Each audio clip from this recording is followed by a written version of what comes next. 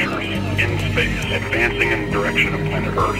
And they are at this very moment positioning themselves behind the moon, behind the moon. We don't know what they are, what they're doing, or what they're going to do. We are at a standstill as to what will happen next, next, next, next, next,